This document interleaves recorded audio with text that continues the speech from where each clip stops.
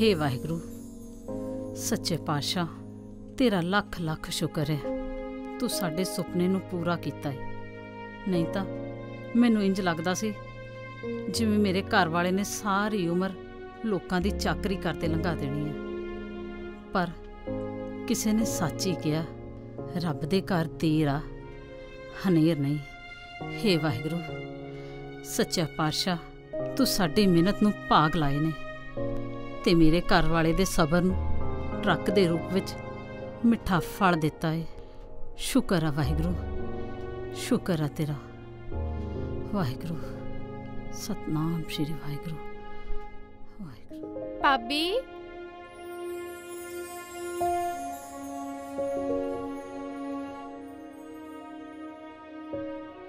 ਨਿੰਮੋ ਵਾਂਡਾਈਆਂ ਲੱਡੂ? ਹਾਂ ਭਾਬੀ ਵੰਡ ਆਈਆਂ। ਭਾਬੀ ਵੀਰ ਆਉਣ ਵਾਲਾ ਟਰੱਕ ਲੈ ਕੇ। ਤਿਆਰ ਹੋ ਜਾ ਜਲਦੀ ਆਪਾਂ ਮੁੜ ਬਾਬੇ ਦੇ ਵੀ ਜਾਣਾ ਆ। ਹੁੰਨੀਆਂ ਹੁੰਨੀਆਂ ਤੂੰ ਵੀ ਤਿਆਰ ਹੋ ਜਾ। ਹੂੰ ਹੂੰ। ਤੇ ਨਾਲੇ ਗੁੱਡੀ ਨੂੰ ਵੀ ਤਿਆਰ ਕਰ ਦੇ। ਭਾਬੀ। ਵੀਰੇ ਤੇਰੇ ਨੇ ਆ ਕੇ ਬੋਲਣਾ ਮੈਨੂੰ। ਤੁਸੀਂ ਲੇਟ ਕਰਤਾ। ਚੱਲ ਆ ਜਾ।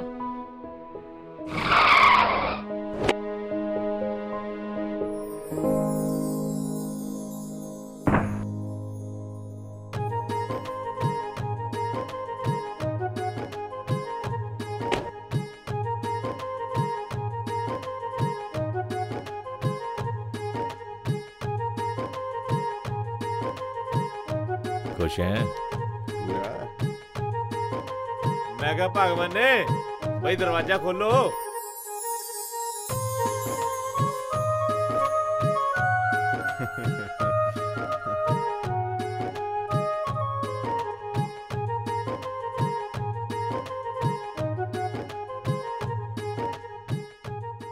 ਲੈ ਆਓ ਸਰਦਾਰ ਜੀ ਟਰੱਕ ਨੂੰ ਘਰ ਨਹੀਂ ਅਮਰੋ ਇਹ ਟਰੱਕ ਸਾਨੂੰ ਰੱਬ ਨੇ ਦਿੱਤਾ ਹੈ। ਇਸ ਟਰੱਕ ਦੇ ਟਾਇਰ ਪਹਿਲਾਂ ਗੁਰੂ ਘਰ ਪੈਣਗੇ ਤੇ ਫਿਰ ਆਪਣੇ ਘਰੇ ਤੇਰਾ ਕੀ ਖਿਆਲ ਹੈ ਇਸ ਬਾਰੇ। ਮੈਂ ਕੀ ਕਹਿਣਾ ਜੀ? ਮੈਂ ਤਾਂ ਤੁਹਾਡੇ ਨਾਲ ਆ। ਜਿਵੇਂ ਤੁਸੀਂ ਕਹੋ। ਬਸ ਫਿਰ ਖਿੱਚੋ ਤੇਰੀ ਗੁਰੂ ਘਰ ਜਾਣ ਦੀ। ਅਸੀਂ ਤਾਂ ਤਿਆਰ ਹਾਂ ਜੀ। ਹੂੰ। ਪਾਪਾ ਤੁਸੀਂ ਤਿਆਰ ਹੋਣ ਵਾਲੇ ਹੋ। ਓ ਮੇਰੇ ਲਾਡੋ ਰਾਣੇ।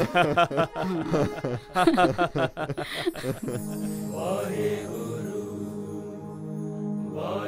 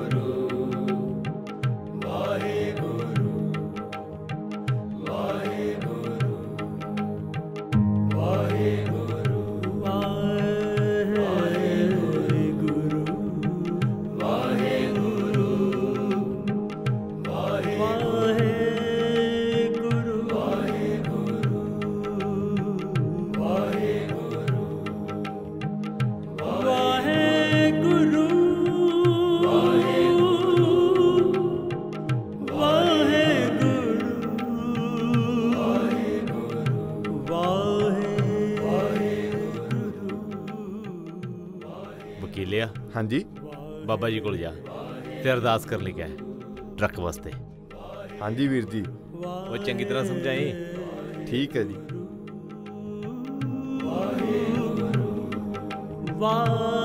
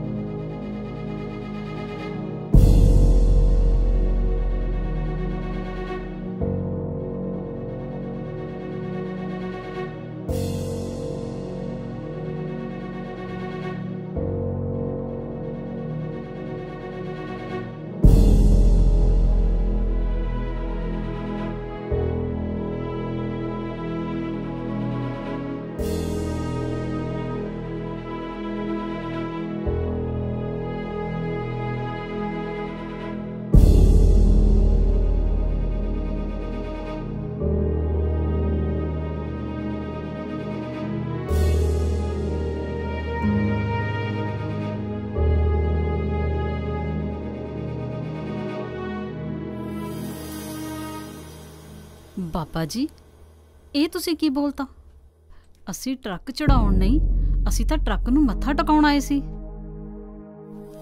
ਅਸੀਂ ਬਹੁਤ ਜ਼ਿਆਦਾ ਮਿਹਨਤ ਨਾਲ ਆਪਣੀ ਸਾਰੀ ਜ਼ਿੰਦਗੀ ਦੀ ਪੂੰਜੀ ਲਾ ਕੇ ਫਿਰ ਸੈਕਿੰਡ ਹੈਂਡ ਟਰੱਕ ਲਿੱਤਾ ਏ। ਅਮਰੋ, ਕੋਈ ਗੱਲ ਨਹੀਂ। ਜੋ ਬਾਬਾ ਜੀ ਨੂੰ ਮਨਜ਼ੂਰ ਹੋ ਸ਼ਾਇਦ ਆਪਣੀ ਕਿਸਮਤ ਵਿੱਚ ਹਾਲੇ ਆਪਣਾ ਟਰੱਕ ਨਹੀਂ ਲਿਖਿਆ। ਪਰ ਇਦਾਂ ਕਿੱਦਾਂ ਹੋ ਸਕਦਾ? ਰਹਿਣ ਦੇ ਅਮਰੋ। ਆ ਜਾ। ਸੇਵਾ ਕਰੀਏ। ਪਾਪਾ ਜੀ। ਬੀਬੀ ਜੀ ਮੈਨੂੰ ਮਾਫ ਕਰ ਦਿਓ ਮੈਥੋਂ ਭੁੱਲ ਹੋ ਗਈ।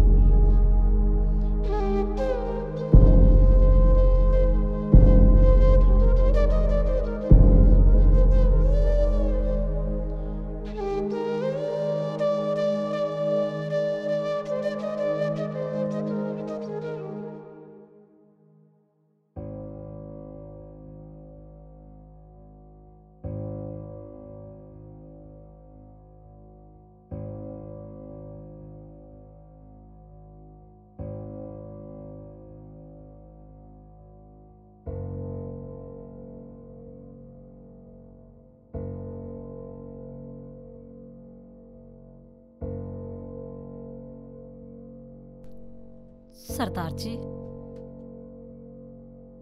ਅਮਰੋ ਕੁਝ ਚੀਜ਼ਾਂ ਹੱਥਾਂ ਦੀਆਂ ਲਕੀਰਾਂ ਤੇ ਆਉਣ ਜਾਣ ਲਈ ਲਿਖੀਆਂ ਹੁੰਦੀਆਂ ਨੇ। ਸ਼ਾਇਦ ਬਾਬੇ ਨੇ ਕਿਸਮਤ ਵਿੱਚ ਕੁਝ ਚੰਗਾ ਲਿਖਿਆ ਹੋਵੇ।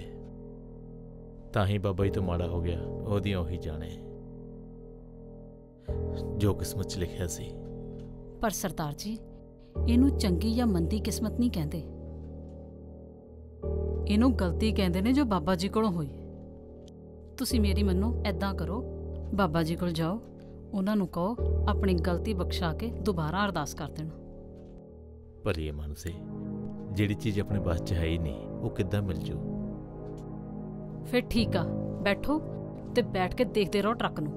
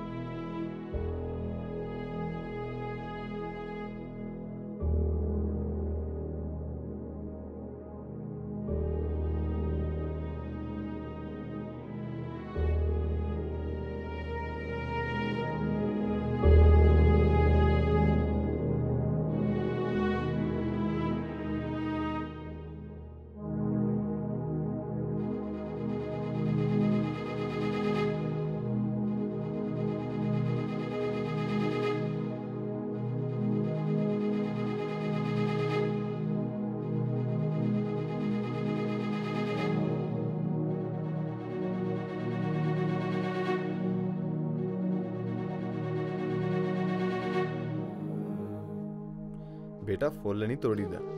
ਫੁੱਲਾਂ ਵਿੱਚ ਵੀ ਆਪਣੇ ਵਾਂਗੂ ਜਾਨ ਹੁੰਦੀ ਏ।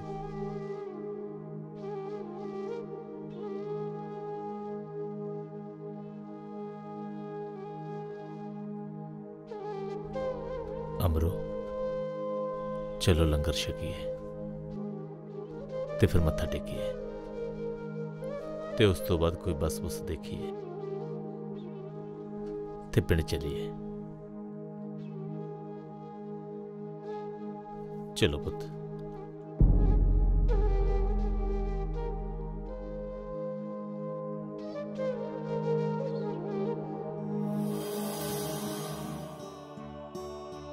ਏਕ ਓੰਕਾਰ ਸਤਨਾਮ ਬਾਬਾ ਜੀ ਸੇਵਾ ਕਰਕੇ ਮੈਨੂੰ ਮਿਲੋ ਕਰਤਾ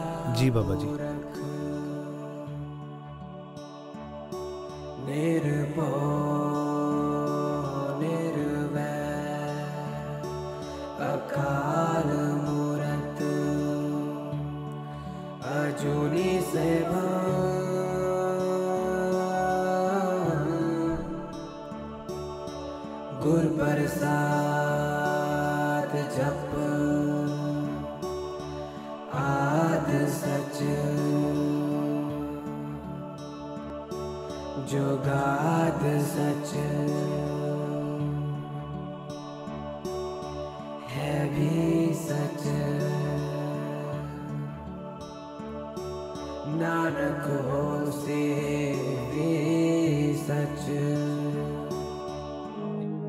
ਹੇ ਵਾਹਿਗੁਰੂ, ਭੁੱਲ ਮੇਰੀ ਤੇ ਖਾਮਿਆ ਜਾਂ ਕੋਈ ਹੋਰ ਭੁਗਤੇ। ਮੈਥੋਂ ਇਹ ਸਭ ਜਰਿਆ ਨਹੀਂ ਜਾ ਰਿਹਾ। ਅਰਦਾਸ ਕਬੂਲ ਕਰੀ ਵਾਹਿਗੁਰੂ। ਕਰਤਾਰ ਹੱਸਦਾ ਹੱਸਦਾ ਤੇਰੇ ਦਰ ਤੇ ਆਇਆ ਵਾਹਿਗੁਰੂ। ਤੇ ਹੱਸਦਾ ਹੱਸਦਾ ਹੀ ਤੇਰੇ ਦਰ ਤੋਂ ਜਾਵੇ। ਵਾਹਿਗੁਰੂ। ਸਤਨਾਮ ਵਾਹਿਗੁਰੂ। ਸਤਨਾਮ ਵਾਹਿਗੁਰੂ।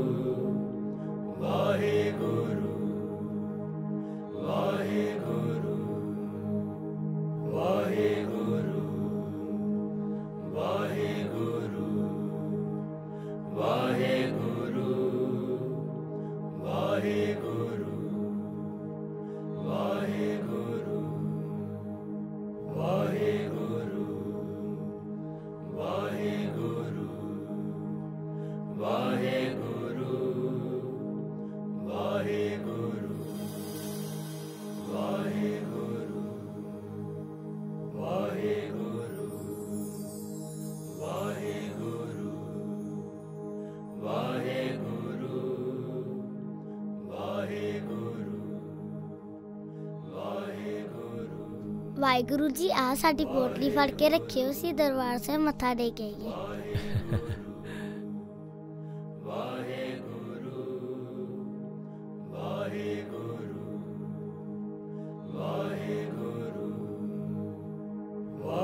ਮੈਂ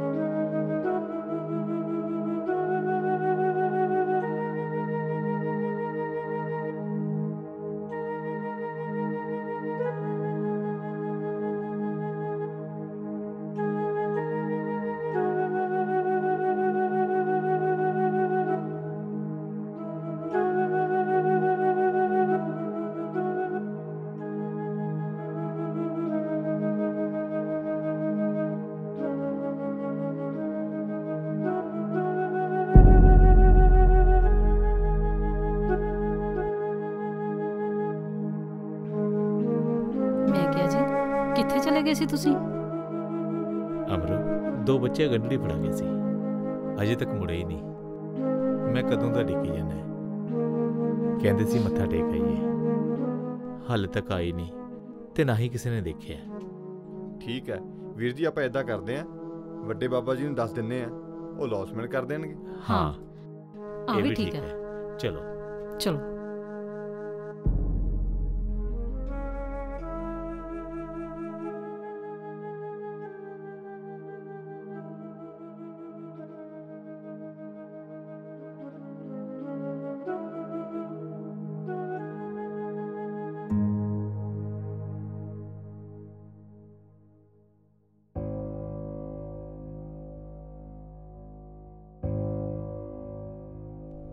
ਸਤਿ ਸ਼੍ਰੀ ਅਕਾਲ ਜੀ। ਸਤਿ ਸ੍ਰੀ ਅਕਾਲ ਬਾਬਾ ਜੀ। ਵਾਹਿਗੁਰੂ ਜੀ ਜੋ ਸਵੇਰ ਤੁਹਾਡੇ ਨਾਲ ਹੋਇਆ ਉਹ ਸਭ ਵਾਹਿਗੁਰੂ ਦੀ ਰਜ਼ਾ ਸੀ। ਨਹੀਂ ਨਹੀਂ ਬਾਬਾ ਜੀ ਜੋ ਕੁਝ ਸਵੇਰੇ ਸਾਡੇ ਨਾਲ ਹੋਇਆ ਅਸੀਂ ਉਸ ਕਰਕੇ ਨਹੀਂ ਆਏ। ਅੱਜ ਤਾਂ ਸਗੋਂ ਇਸ ਲਈ ਆਏ ਹਾਂ ਵੀ ਦੋ ਬੱਚਿਆਂ ਗੰਢੜੀ ਫੜਾ ਗਏ ਸੀ। ਕਈ ਘੰਟੇ ਹੋ ਗਏ ਨੇ। ਮੈਂ ਕਿੰਨੀ ਦੇਰ ਉਡੀਕਦਾ ਰਿਹਾ ਪਰ ਉਹ ਵਾਪਸ ਨਹੀਂ ਆਏ। ਅਸੀਂ ਤਾਂ ਤਾਂ ਤੁਹਾਡੇ ਕੋਲ ਆਏ ਹਾਂ। ਗੰਢੜੀ ਇਹਨੂੰ ਖੋਲੋ ਤਾਂ ਸਹੀ। ਇਹਦੇ ਵਿੱਚ ਹੈ ਕੀ?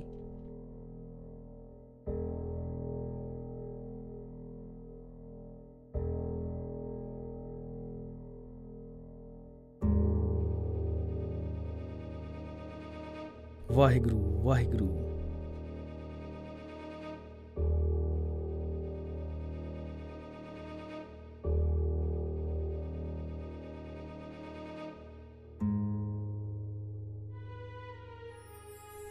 ਭਗਤਾ ਇਹ ਤਾਂ ਚਮਤਕਾਰ ਹੋ ਗਿਆ। ਹੁਣ ਤੇ ਤੁਸੀਂ ਜਿੰਨੇ ਮਰਜ਼ੀ ਟਰੱਕ ਖਰੀਦ ਸਕਦੇ ਹੋ। ਨਹੀਂ ਨਹੀਂ ਬਾਬਾ ਜੀ। ਇਹ ਉਹਨਾਂ ਬੱਚਿਆਂ ਦੀ ਮਾਨਤ ਹੈ। ਮੈਂ ਕਿਦਾਂ ਲਿਜਾ ਸਕਦਾ ਵਾਹਿਗੁਰੂ ਵਾਹਿਗੁਰੂ ਵਾਹਿਗੁਰੂ। ਉਹ ਬੱਚੇ ਨਹੀਂ ਫਰਿਸ਼ਤੇ ਸੀ। ਉਸ ਰੱਬ ਦੀ ਭੇਜੀ ਹੋਈ ਰੱਬੀ ਰੂਹ ਸੀ। ਉਹ ਤਾਂ ਘਾਟਾ ਵਾਦਾ ਪੂਰਾ ਕਰਨ ਆਏ ਸੀ। ਬਾਬਾ ਜੀ ਤੋਂ ਅਰਦਾਸ ਜ਼ਰੂਰ ਗਲਤ ਹੋ ਗਈ, ਪਰ ਜਿਹਦੇ ਦਰ ਤੇ ਹੋਈ, ਉਹ ਥੋੜਾ ਗਲਤ ਸੀ।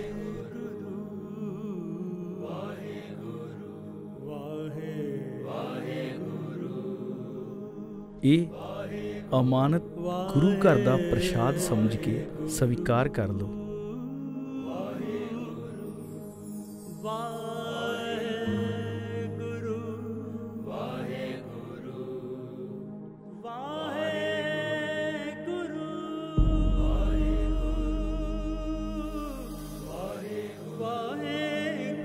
ਕੰਡੜੀ ਫੜਾਓ ਬਾਬਾ